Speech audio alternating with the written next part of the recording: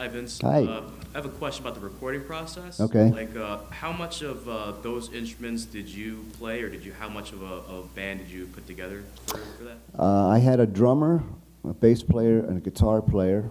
Uh, the guitar player was Scott Shelley, who actually wrote the words to Dare, and uh, a great composer and a great guitar player. I had a percussionist named Michael Fisher. But when it came to the drums, um, because I had so little time, I couldn't, I couldn't chart out for a drummer all the parts. And I played drums just well enough that I sat down and I played most of the complicated stuff myself on drums. And I had another guy come in and do some of the, uh, what I call the groove-oriented stuff, where it was just straight ahead.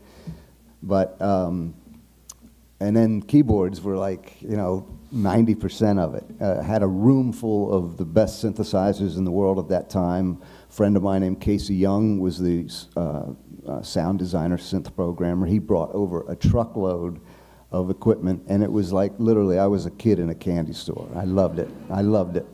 And uh, in fact, for what it's worth, we just brought all that equipment that we use for Rocky IV and Transformers over to my partner Kenny's studio for the first time in decades, and we're firing it up for some new projects. And it's it's there's nothing like it. Any any of these sounds in the computers, not to get too technical, but they have synthesizer sounds in computers. But when you have the real synthesizers, there's just so much difference. There's so much more presence. There's so much more energy.